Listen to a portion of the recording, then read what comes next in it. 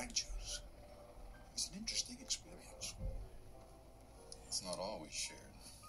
It's disgraceful. You're old enough to be her, her, her grandfather. I'm as human as the next man. I was the next man.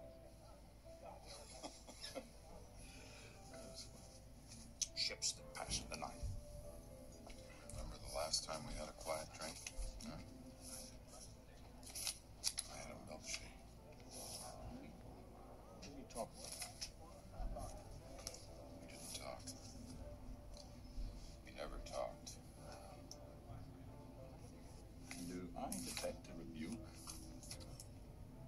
A regret. It was just the two of us, Dad. It was a lonely way to grow up. For you, too.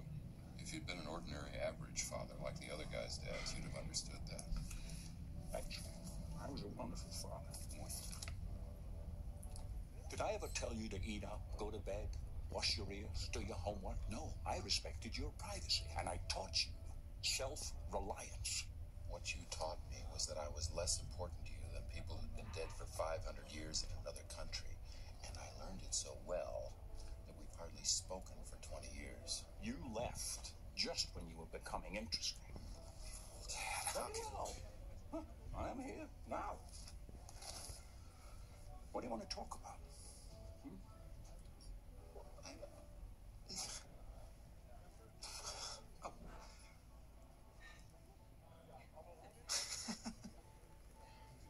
I can't think of anything. Then what are you complaining about?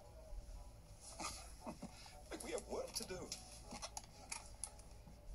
When we to we will face three challenges. First, the breath of God. Only the penitent man will pass. Second, the word of God. Only in the footsteps of God will he proceed.